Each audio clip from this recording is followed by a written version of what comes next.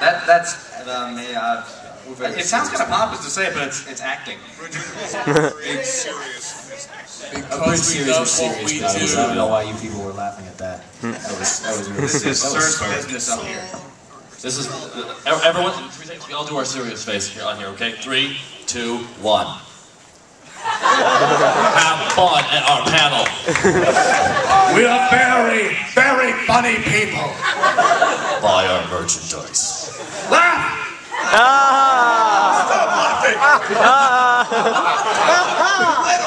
That was so not. Okay. Chuckle briefly. Okay.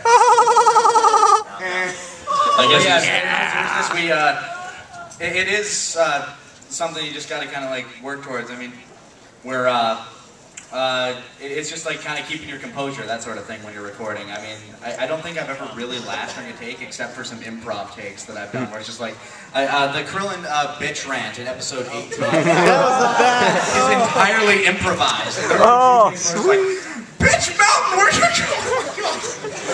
I think I think we can just go over all the takes where we've laughed, and, and uh, you know some of the Nappa ones that maybe laughed, but after like practicing them so much, it just loses that. Yeah, it's, it's whatever. But oh, there's one line that I didn't think I would laugh so much. It was a Dende line.